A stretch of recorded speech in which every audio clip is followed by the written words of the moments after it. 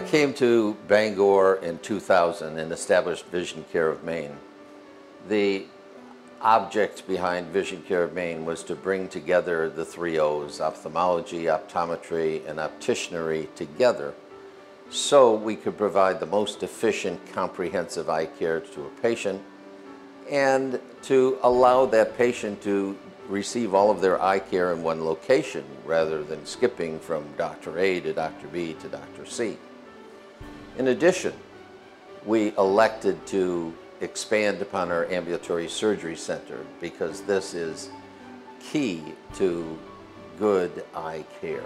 The reason it's key is because an independent ambulatory surgery center is able to move forward and obtain and integrate the newest advances much quicker than hospitals or bigger organizations are. And that brings us to why we're here today. Today, we are going to be speaking about cataract surgery of the 21st century. And I'm really excited about this because we're the only place in Maine that offers this.